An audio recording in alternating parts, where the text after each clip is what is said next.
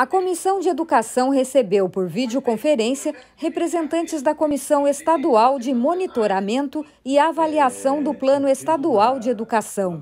Um dos integrantes fez a apresentação de um relatório sobre os avanços e dificuldades do Estado para colocar em prática as 19 metas estabelecidas e que devem ser cumpridas de 2015 a 2024. A Assembleia Legislativa também faz parte deste colegiado. A apresentação do relatório é feita a cada dois anos. No final da apresentação, a presidente da Comissão de Educação, deputada Luciane Carminati, destacou os principais pontos. Nós temos o desafio do atendimento de 0 a 3 anos. Né? Nós temos é, mais de 7 mil uh, crianças que precisam desse atendimento.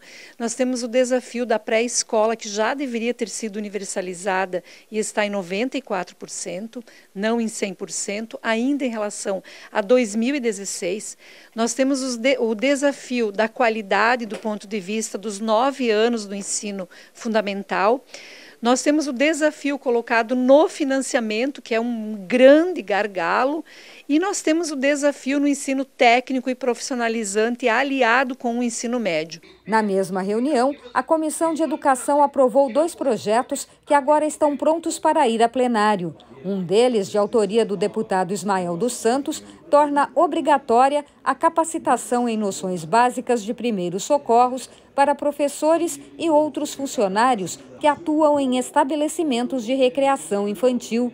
A matéria passou com emenda para adequação dos conteúdos de acordo com a faixa etária dos frequentadores.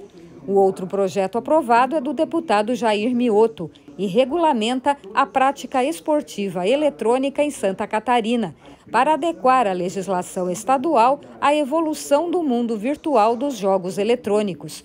A comissão também aprovou dois requerimentos da deputada Luciane Carminati.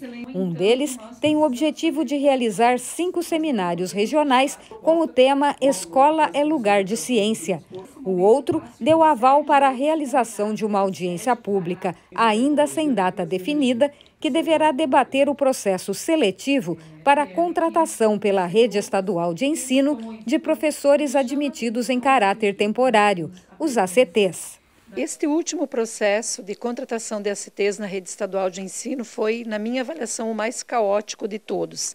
Nós precisamos fazer uma audiência pública para ouvir os educadores e ouvir também o gestor público estadual, assim como o Ministério Público e Sindicato dos Trabalhadores, para ver se a gente consegue garantir na lei dos ACTs alguns avanços.